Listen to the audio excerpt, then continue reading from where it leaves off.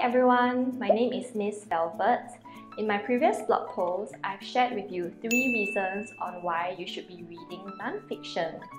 Some of these reasons include having increased concentration levels and becoming a better communicator.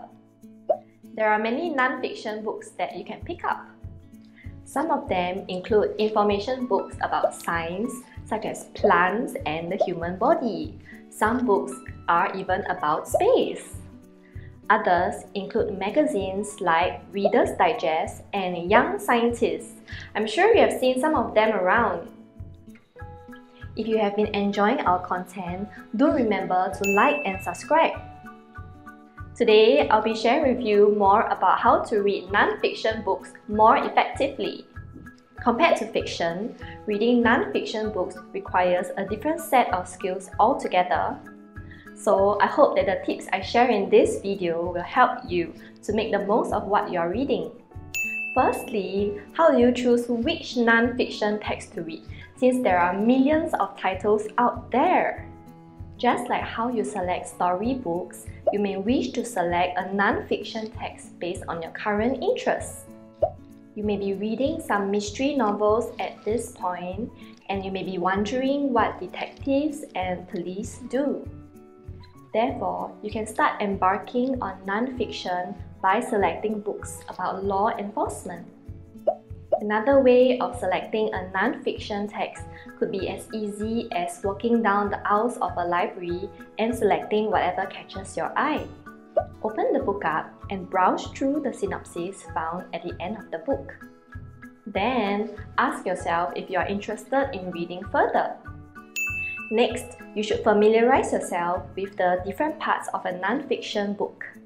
First, take a look at the contents page. It will give you a clear idea of what the book will cover. When you are considering to buy or borrow a book, you should take a look at the contents page. See if it will provide you with any information you seek or interest you in any way. You can also look at the index. This is an alphabetical list of almost everything that's covered in the book. It is accompanied by page numbers. Again, this will help you to understand the content covered in the book. Also, while reading the book, you can always use the index to look up specific terms and concepts. You can then go right to where the specific information is located. Once you have decided on the book, make yourself comfortable. Settle down on a comfortable chair or a sofa. Have a hot cup of drink with you.